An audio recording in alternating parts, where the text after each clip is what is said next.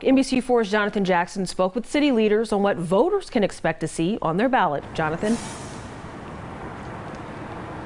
Well, guys, in November, Columbus voters can choose to say yes or no to multiple bond issues or charter amendments here in the city, all of which could have a major impact in Columbus in a number of ways.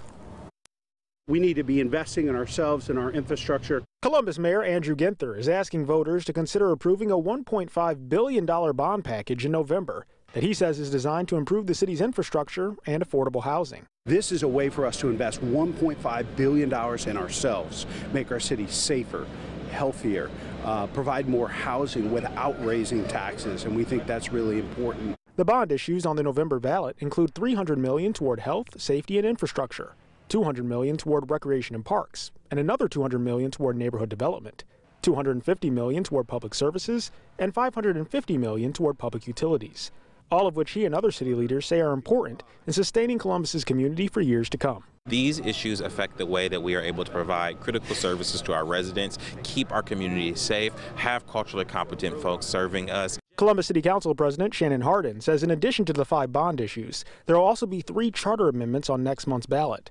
He says these amendments will cover increased transparency during elections, along with modernizing city government and promoting further diversity hiring in the city. This will give the flexibility to take people's backgrounds, to take people's live, lived experiences into account when putting together a full assessment of someone we want to either advance or hire into the city.